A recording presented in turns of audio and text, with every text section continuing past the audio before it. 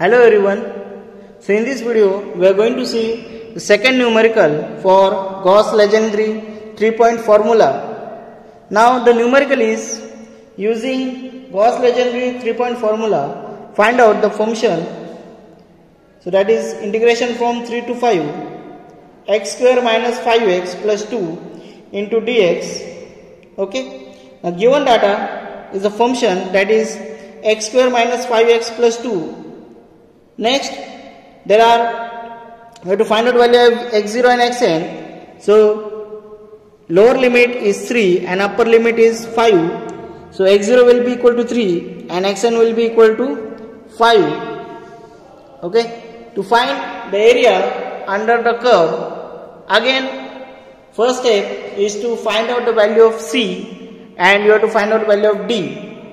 Now formula for c is already known to you that is xn minus x0 divided by 2 where xn is nothing but the 5 x0 is nothing but the 3 divided by 2 which is equal to 1 similarly find out the value of d. D again xn is nothing but the 5 plus 3 equal to 2 sorry divided by 2 which is equal to 4 so value of c is nothing but the 1 and value of d is 4. Next step is to find out the value of x1, x2, x3 with respect to the value of c and d. So, for finding the value of x1, we have the formula that is x1 which is equal to c into under root 3 by 5 plus d Okay, so putting the value of C and D in x1 equation we get that is C is 1 into 3 by 5 plus D is nothing but a 4. For further simplifying we will get 4.7745. So this is the value for x1. Okay. Similarly, for x2 we have the formula that is minus c into under root 3 by 5 plus d equal to so c minus 1 into under root 3 by 5 plus 4 equal to equal to so further simplifying you will get the value of x2 will be equal to 3 0.2254 3.2254 okay.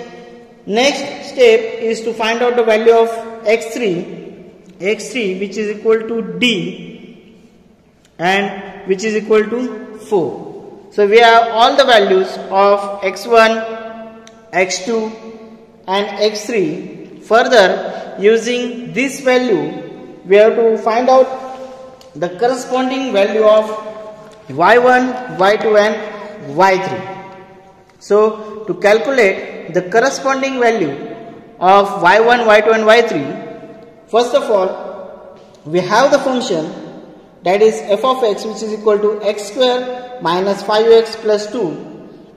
So for finding the value of y1, you have to put the value of x as x1 Okay, so x1 is the value of x1 was 4.7745. So put that value in this equation. So you'll get 4.7745 square minus 5 into 4.7745 plus 2. Okay, further simplifying, you will get the value of y1 which is equal to 0.9 233.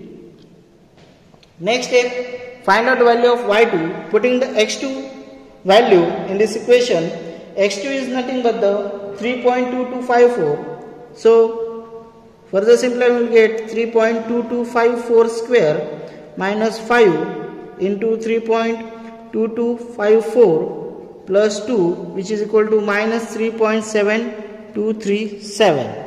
So, this is value of y2 with respect to x2 same you have to find out value of y3 here y3 for that x3 is 4 so 4 square minus 5 into 4 plus 2 equal to minus 2 so we have got all values of y1 y2 and y3 so you have to utilize this value for finding the area under the curve.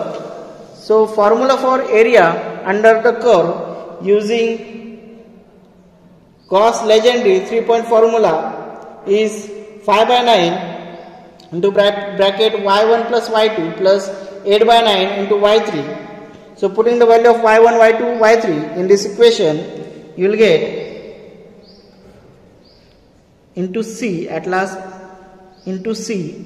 So 5 by 9 0.9233 minus 3.7237 okay so plus 8 by 9 into minus 2 into 1. So C is nothing but the 1. Further simplifying, we will get the value of A which is equal to minus 3.3335.